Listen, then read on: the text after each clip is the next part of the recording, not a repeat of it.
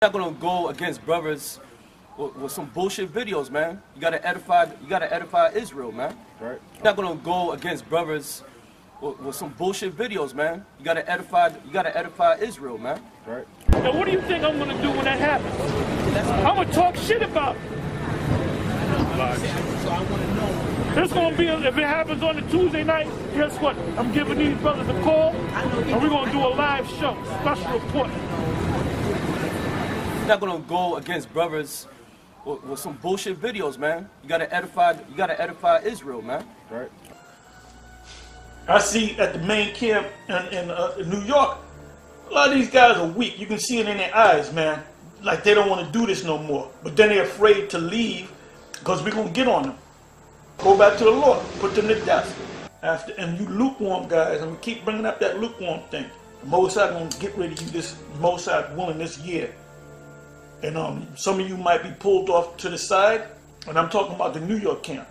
I don't know about the other camps, but you might be put pulled to the side. Look, brother, you you out of here. Why, brother? Because you're lukewarm, man. Okay, this is this we this is the year of diligence, and you ain't diligent. So goodbye, goodbye, goodbye.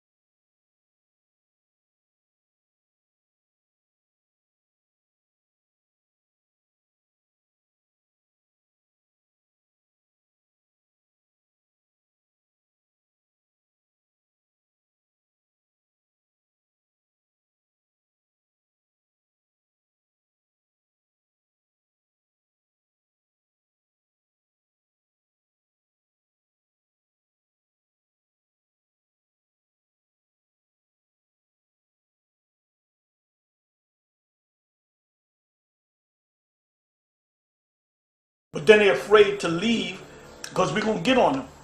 Now, what do you think I'm going to do when that happens? I'm going to talk shit about it. Some bullshit videos, man. You gotta edify. You gotta edify Israel, man. Right.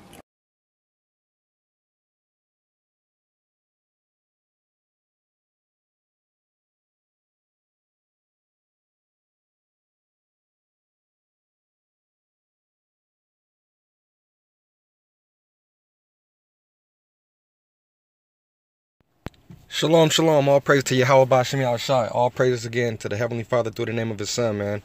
Yeah, we, we, we, we keep trying to reiterate and break this thing down to you, brothers, but you don't want to see it.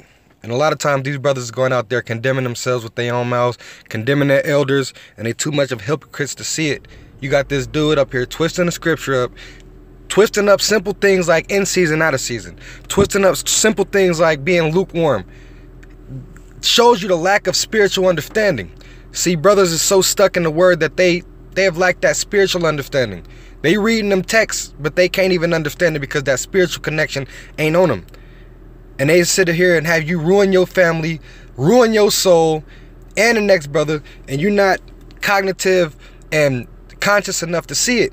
That's why we make these videos. We don't care. I don't care about you brothers making fun of me. I don't care about you brothers talking all that smack about me. I try not to get offended because this is all for the sake of edification and brothers and sisters waking up out of that slumber. But a lot of these brothers won't wake up. And for those brothers, we are not to care for. All we can do is keep extending the love, the grace, and the charity of our Heavenly Father that He gave us through His Son. And for the brothers that can't receive that, well, they will fall by the wayside and they will ultimately uh, receive their destruction that they want. Brothers is always talking about death, diligence, and destruction, where you diligently gonna be destroyed for all of the death that you preach. That's the thing. The Most High is starting something new in this in this uh, so-called truth, man. And, and what this newness is is the establishment of the true gospel, which brothers don't understand. Brothers, a lot of you tell you the gospel is knowing you an Israelite. The uh, gospel is knowing you're gonna be rich in the kingdom.